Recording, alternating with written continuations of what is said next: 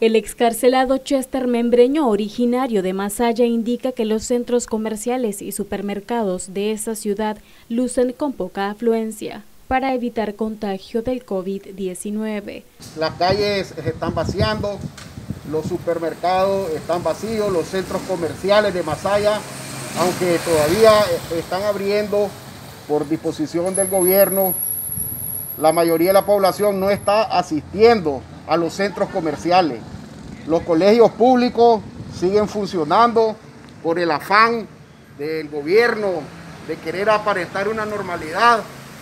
Incluso en algunos centros privados están haciendo, en algunos centros públicos de educación están poniendo carteles diciendo que las clases están normales para aparentar normalidad, pero es un 15% de jóvenes apenas lo que está compareciendo a, los centros educativos. Membreño critica que el gobierno no oriente medidas más drásticas contra esta pandemia. En caso de las consecuencias fueran funestas, implicaría una responsabilidad penal de orden criminal que podría encajar dentro de los mismos delitos ya señalados de lesa humanidad, porque deliberadamente, deliberadamente están impidiendo que las personas eh, se protejan ante el virus. Al contrario, están mandando a la gente a las aglomeraciones, a las personas a estar en aglomeración pública, lo que es foco de contaminación deliberada de este mortal virus denominado COVID-19,